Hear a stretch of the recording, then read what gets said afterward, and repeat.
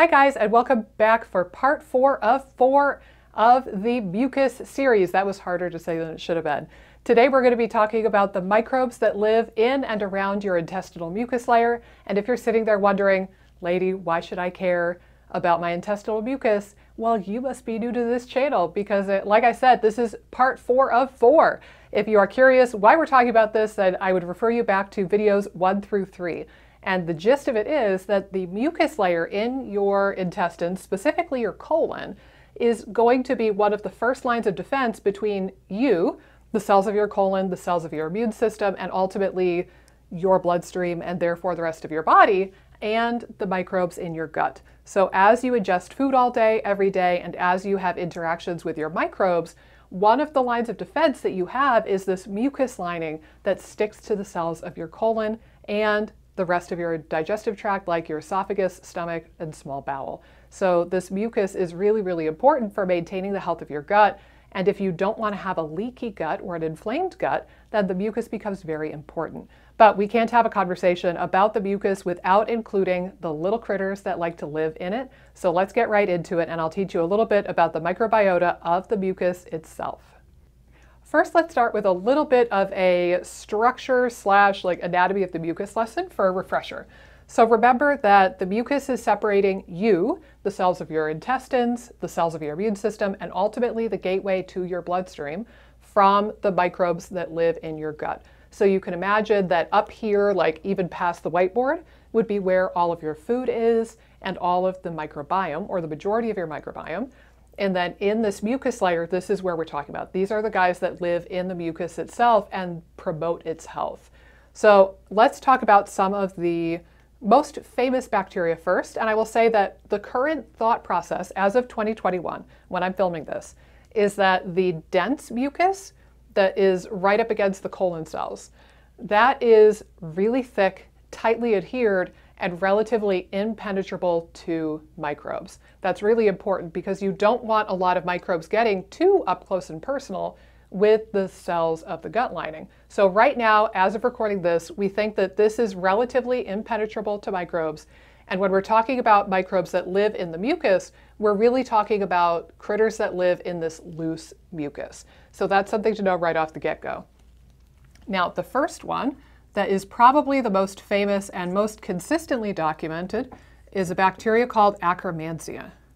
And I'm just going to abbreviate, abbreviate it AKK. It's Akkermansia mucinophilia, and this is a microbe that degrades the mucus lining, which sounds like a bad thing, but ultimately that helps promote the restoration of the mucus layer. So it's like, yes, it's munching away some of this mucus, but then the loss of that mucus or the signals directly from the microbe are going to stimulate those goblet cells and the release of more mucus. Now, you might be asking the question, well, cool, can I take a probiotic for that? And this is hot off the press. Yes, you can. Um, I forget the name of it now. It's brand new to the US market. The Akkermansia muciniphila probiotic just came out, maybe October 2020, somewhere in that range. So it's very new, but it's very expensive. I haven't used it clinically yet because I would rather try to feed the little guy rather than try to take a probiotic that's 150 bucks a bottle. So as of yet, I don't have experience prescribing this probiotic. If you have experience with it, I'd be deeply curious to hear your thoughts. Like I said, I think it's like 150 or maybe 100 bucks a bottle. So it's a little cost prohibitive, but we do know things that can feed the little stinker. So let's start with that. So first of all, Akkermansia is said to really like red things, not red Skittles, but red polyphenols in food, such as those found in pomegranates, uh, berries like cherries, cranberries, maybe beets, not sure, but I think so. It seems like all of these red polyphenol foods are going to feed Akkermansia to some extent. Even rhubarb. Of all the things in the world, rhubarb and the red polyphenols in rhubarb seem to promote the growth of Akkermansia. So pretty stinking cool. Another thing that I've observed is that Akkermansia really likes FODMAPs, particularly inulin. So if you are on a low FODMAP diet, one of the things that might be seen is a reduction in Akkermansia. Now, I will say this of the studies that I have seen where they've done microbiota testing or stool testing pre and post low FODMAP, I have yet to see this one documented as one of the ones that goes down. But it wouldn't surprise me because one of the ways that I try to feed this in my clinical practice is through the use of things like FOS and GOS uh, supplements, so things like inulin and Bimuno, and it does seem to work. So I think that this is a FODMAP eater, at least to some extent, and it would stand to reason that the low FODMAP diet could be detrimental to this bacteria. So those are some of the, the biggies. There's a lot of other stuff that can feed Akkermansia. The polyphenols in tea, like black tea, green tea, white tea, oolong tea, those seem to feed Akkermansia to some extent. And then also, I mentioned this is one of my first videos in the series, but fasting.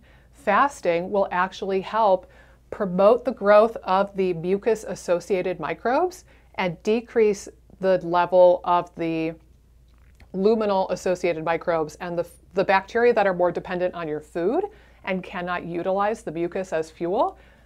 That the fasting practice will decrease the relative abundance of these guys for a couple of days and increase the growth of things like Akkermansia. So fasting can also be a way to try to nurture this. So lots of different options. There's, there's actually a lot of other supplements that I haven't mentioned, but those are some of my favorites. Red polyphenols, FODMAP content in the diet or FODMAP supplements like inulin and Bimuno, and tea polyphenols. Those are some of my favorites to nurture and nourish Akkermansia.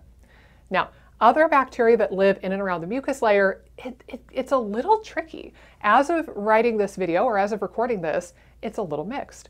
I have seen videos that say that Firmicutes bacteria, so things like Faecalibacterium, um, you know, even, even a lot of the short chain fatty acid producers like Blautia, some studies say that Firmicutes bacteria are more abundant in the mucus. Some say that they are less abundant in the mucus. So I don't truly know. I don't think we know as a species. But more consistently, I have found associations where they say that Bacteroidetes and proteobacteria are relatively enriched in the mucus lining, and Firmicutes generally are going to stick more in the lumen. Now, again, like I'm, I've seen research go both ways on that, but as as more of a rule of thumb, I would say that Bacteroidetes and proteobacteria are in there. So, for example, proteobacteria could include things like E. coli. And it does seem that E. coli see, likes to replicate in the mucus as opposed to out in the lumen. So that's one example of a proteobacteria species. And then you're going to laugh at this. Hold on. One of the Bacteroidetes species that seems to live in the mucus, I literally I had to write it down because it's a very long word and I'm not skilled at pronouncing this. So it's Bacteroides thetaiotaomicron. Lord knows. If somebody knows how to pronounce that properly, please record it email it to me because Lord only knows. But as far as I can tell, sounding it out, theta, theta, theta EO tau micron. Let's just call it B theta for short. So B theta seems to live in and amongst the mucus as well. And it seems to be involved in some cross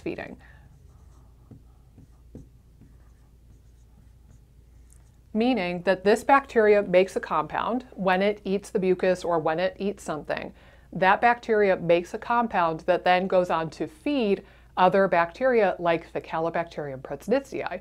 So it's a really neat microbe and it's in that Bacteroidetes phylum.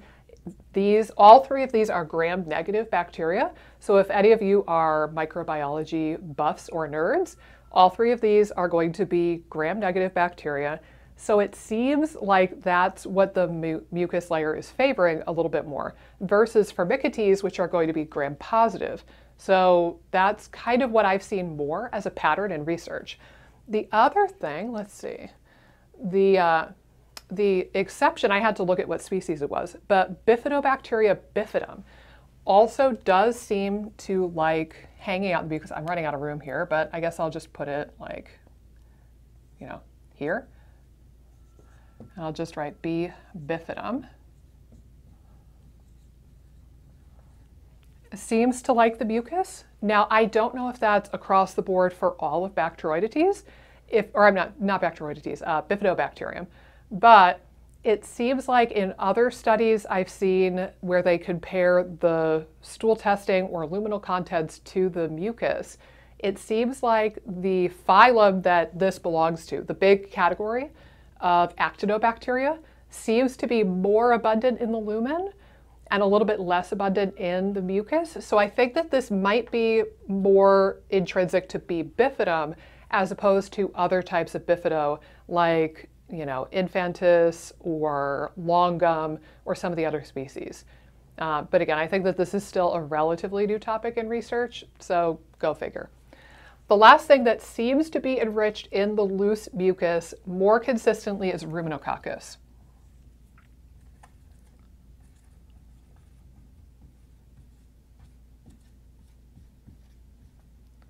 And this, uh, most frequently, I will bring this up more in the context of when I have somebody do a gut biome plus test from Psomagen, which I've spoken about on this channel before.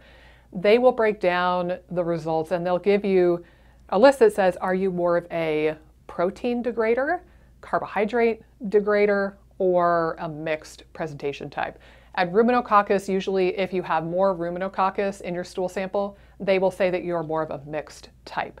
As opposed to somebody who has, for example, a lot of Bacteroidetes, they would deem that person more of a protein degrader or protein digester based on their microbiome. So ruminococcus also seems to like the mucus, but the big ones that I would say that I see most commonly in the research are Akkermansia mucinophilia and B theta and then to some extent, these other ones. I would say also the Proteobacteria E. coli thing is fairly consistent at this point. The bifidobacteria seem hit and miss, but B. bifidum does like the mucus. Ruminococcus generally seems to like mucus. And then the Firmicutes as a whole group and the Actinobacteria as a whole group seem like it's kind of mixed, but maybe they stick more in the lumen. So if you're going to try to target these guys and try to feed them, most of your effort could be spent on trying to feed Akkermansia, feed Bifidobacterium with things like the polyphenols, maybe probiotics for each of those, depending, and um, you know, tea polyphenols and FODMAPs and that sort of thing. I wouldn't try to feed E. coli, but there is a probiotic for E. coli, and it's a good species of E. coli that competes with the bad guys. So that is a consideration as well. You can get this uh, Akkermansia is now available as a probiotic in the United States. Again, I don't have experience with it, but it is available. B. bifidum certainly is available in probiotics in the United States. And there is one E. coli probiotic, Mutaflor. It's E. coli Nissl 1917. And it was actually the very first probiotic ever developed back in 1917. So those are your microbes that live in your mucus. As we research the microbiome more, I'm sure that this is going to evolve. Frankly, we don't know a ton about the mucus layer microbiome right now, but this seems to be the most consistent from what I can tell. And if you want to try to keep your mucus layer healthy and therefore prevent leaky gut and the things that are associated with leaky gut, I think that giving some TLC to your Akkermansia and your Bifidobacterium would go a long, long way. Thank you so much for tuning in, and I'll see you in the next video. Hey guys, if you like this video, be sure to subscribe, ring the bell, click the like button, and leave a comment down below with the videos that you would like to see me do next. Doing all of those really helps support the channel and support my efforts in making as many videos as possible for you guys. Thanks so much, and I'll see you in the next video.